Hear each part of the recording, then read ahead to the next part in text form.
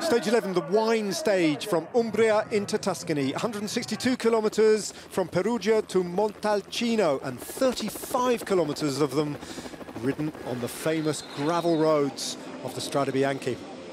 A little bit of a scare for Filippo Ganna as Ineos put pressure on the whole race on the first of the four sectors and split the race apart. Gianni Moscon then piloting the Maglia Rosa and putting Remco Evenepoel under pressure. He was dropped off the back, uncertain on how to ride this unfamiliar road and almost out of the race entirely.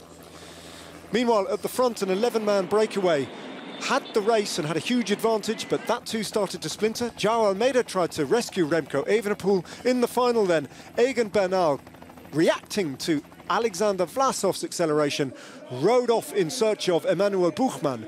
The final couple of hundred metres, though, two riders from the breakaway were going to contest victory. Alessandro Covi and Mauro Schmid from Qhubeka Assos. Those two riders up a steep ramp, a 200-metre climb to the line of 10%. It was the Swiss rider making his Grand Tour debut in his Neo-Pro season, just 21 years of age. Mauro Schmid announcing himself at the Giro in the best possible way.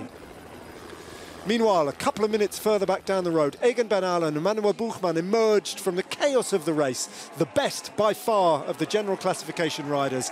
And in the end, Egan Bernal just rode away from Emanuel Buchmann in the Maglia Rosa to make fast gains in the general classification and to throw it all upside down battling on though to the line, piloted home by Joao Almeida. Remco Evenepoel knew that he was in a battle to limit his losses, hurtling down the general classification standings at the end of the day, but still just about in the race.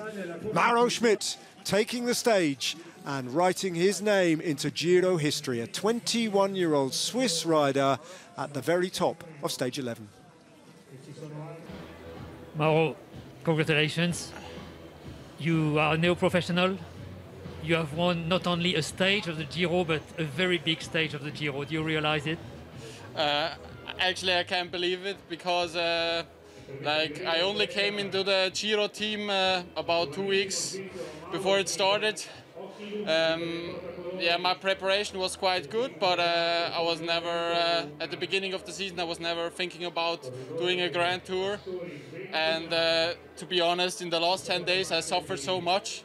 I was I nearly couldn't follow sometimes, but uh, today I uh, I knew I want to go into the break because I love uh, I love Strade Bianche. I love the the gravel roads, and uh, I tried. And yeah, when I was in the, in the break, I felt I had great legs today. I recovered very well uh, yesterday on the rest day, and uh, yeah, I went for it and yeah.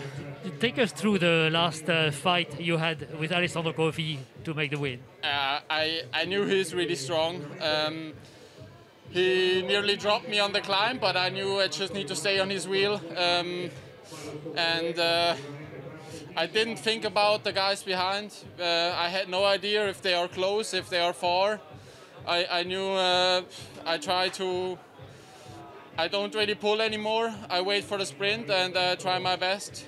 Um, yeah, when I saw the finish line, I, I didn't felt my legs anymore. I just went for the for the line. That's well done. What, was uh, möchtest du auf Deutsch über diesen uh, historischen Sieg sagen? Ja, ich, ich kann es fast nicht glauben. Äh, für mich es war ein super Tag. Ähm, meine Teamkollegen haben mich äh, heute extrem gut äh, unterstützt. Äh, mit Bertjan waren wir zusammen in der Gruppe und ähm, er hat für mich äh, nochmal eine gute ähm, Führung geleistet auf dem zweiten Sektor. Und dann wusste ich, ich bin auf mich gestellt und äh, ja, probiere es jetzt, gebe mein Bestes. Sehr gut, Dankeschön.